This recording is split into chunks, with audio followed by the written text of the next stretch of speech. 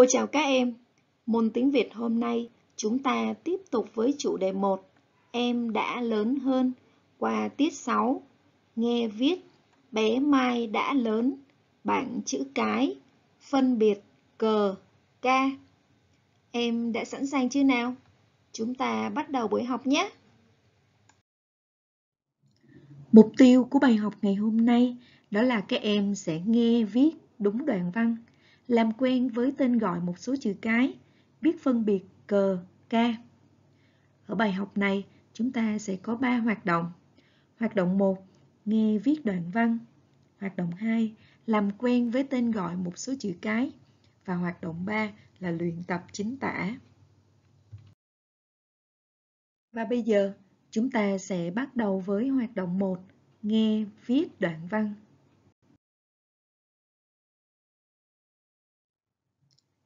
Đây là đoạn văn hôm nay chúng ta sẽ viết.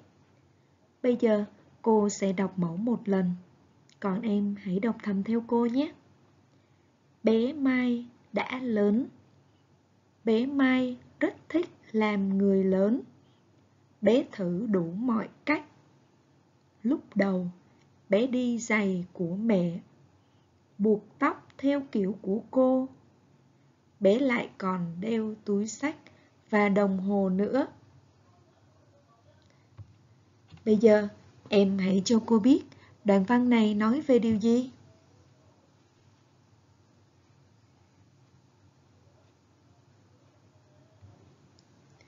À, đoạn văn nói về những việc cho thấy bé Mai rất thích làm người lớn đúng không nào?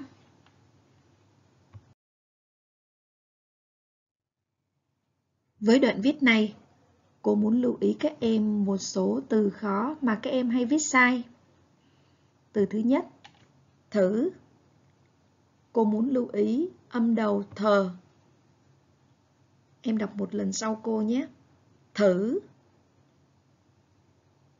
Tốt lắm. Một lần nữa nhé. Thử. Từ thứ hai cô muốn giới thiệu đó là từ kiểu.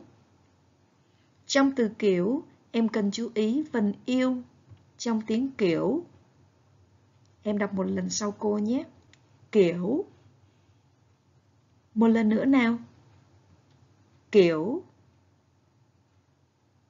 Tốt lắm. Và từ thứ ba cô muốn lưu ý đó là túi sách. Trong từ túi sách, em cần chú ý giúp cô vần ui trong tiếng túi và vần ách trong tiếng sách. Đọc một lần sau cô nhé. Túi sách. Thêm một lần nữa nào. Túi sách. Tốt lắm. Như vậy, cô vừa lưu ý các em ba từ khó. Ngoài những từ mà cô đã lưu ý, em thấy từ nào khó với mình? Em hãy tạm dừng bài giảng lại luyện tập thêm các từ khó ấy. Để một lát chúng ta nghe viết cho thật tốt nhé.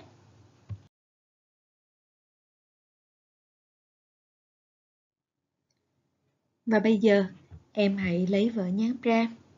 Tập trung lắng nghe và viết lại ba từ khó mà cô vừa lưu ý nhé. Em sẵn sàng chưa nào? Nếu chưa, hãy cứ dừng bài giảng lại, lấy vở nháp rồi chúng ta bắt đầu. Chúng ta bắt đầu nhé. Em hãy tập trung lắng nghe và viết cho cô. Thử. Cô nhắc lại. Thử.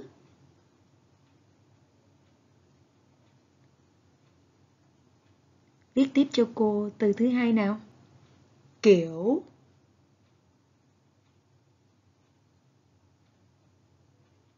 Kiểu. Và bây giờ em viết cho cô từ thứ ba nhé. Túi sách. Cô nhắc lại. Túi sách.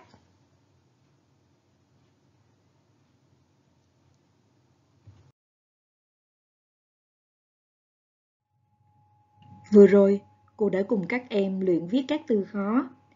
Trước khi viết bài, cô có một số lưu ý về tư thế ngồi viết. Khi viết, lưng thẳng, hai chân đặt song song thoải mái, không tì ngực vào bàn. Đầu hơi cúi, mắt cách vỡ từ 25 đến 30 cm. Tay phải ta cầm bút, tay trái tì nhẹ lên mép vở để giữ. Em nhớ chưa nào? Và bây giờ, em hãy tạm dừng bài giảng, lấy vở ra và chúng ta chuẩn bị viết bài nhé.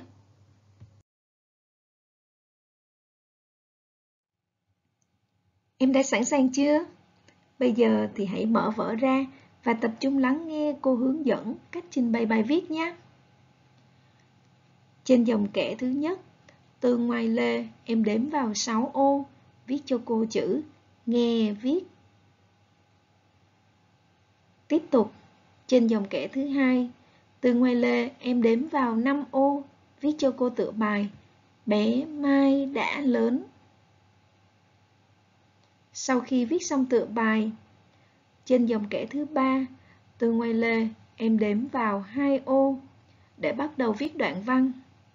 Viết hết dòng thứ nhất, em sẽ xuống dòng tiếp theo nhưng nhớ viết sát ra ngoài lề nhé. Vì tốc độ viết của mỗi bạn khác nhau nên các em có thể nhờ ba mẹ hoặc người thân đọc cho mình viết dễ dàng hơn. Rồi sau khi đã viết xong bài, em hãy đối chiếu, kiểm tra xem mình viết sai bao nhiêu lỗi. Những lỗi nào viết sai, em hãy dùng bút chì gạch chân để sau buổi học, em có thể rèn viết thêm những lỗi mình còn viết sai nhé. Em đã hiểu chưa nào? Nào, bây giờ em hãy tạm dừng bài giảng và nhờ ba mẹ hoặc người thân đọc cho mình viết nhé. Bây giờ, em hãy đếm xem bài viết của mình sai bao nhiêu lỗi và tự đánh giá bài viết của mình nhé. Ở tiêu chí thứ nhất, nếu em sai ít hơn 5 lỗi, em xứng đáng nhận được 3 ngôi sao. Với tiêu chí thứ hai, nếu chữ viết của em rõ ràng và sạch đẹp, em xứng đáng được thưởng thêm một ngôi sao nữa. Và với tiêu chí thứ ba, nếu bài viết của em trình bày đúng hình thức như cô hướng dẫn, em lại được thưởng thêm một ngôi sao.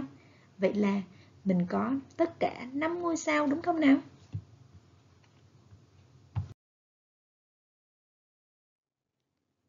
Chúng ta đã kết thúc hoạt động 1. Bây giờ chúng ta sẽ tiếp tục với hoạt động 2 nhé. Làm quen với tên gọi một số chữ cái. Cô có bảng 9 chữ cái tiếng Việt được xếp theo thứ tự. Bây giờ, em hãy tạm dừng bài giảng. Tìm các chữ cái thích hợp, điền vào mỗi bông hoa nhé. Em đã xong chưa nào? Bây giờ, mình hãy cùng đối chiếu với đáp án của cô, xem mình điền có đúng chưa nhé. Á. Vị trí số 4 B. Vị trí số 5 C. Số 6 D Số 8 E Và cuối cùng số 9 E Em có làm đúng như đáp án của cô không nào? Và bây giờ, em lại một lần nữa dừng lại bài giảng. Sau đó, em đọc nhiều lần cho thuộc bảng chính chữ cái này nhé.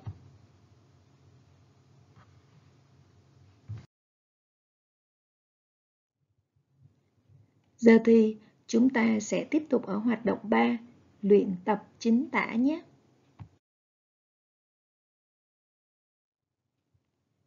Ở bài tập này, cô có 3 từ khóa ứng với 3 bức tranh. Bây giờ, em hãy tạm dừng bài giảng, suy nghĩ và chọn cho cô chữ cờ hoặc chữ ca thích hợp với mỗi bông hoa trong từ khóa nhé. Em đã làm xong chưa nào? Bây giờ, em hãy đối chiếu xem phần bài làm của em có trùng khớp với đáp án của cô không nhé. Với từ nấu cơm, đáp án của cô là âm cờ. Với từ tưới cây, đáp án của cô cũng là cờ. Và với từ sâu kim, đáp án của cô là ca Em có làm giống như cô không nào?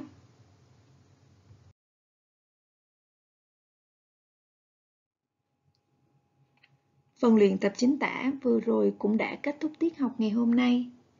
Như vậy, sau buổi học, em hãy rèn viết lại các lỗi mà em còn viết sai nhé. Sau đó, em hãy dành thời gian học thuộc tên các chữ cái có trong bảng mà chúng ta vừa học.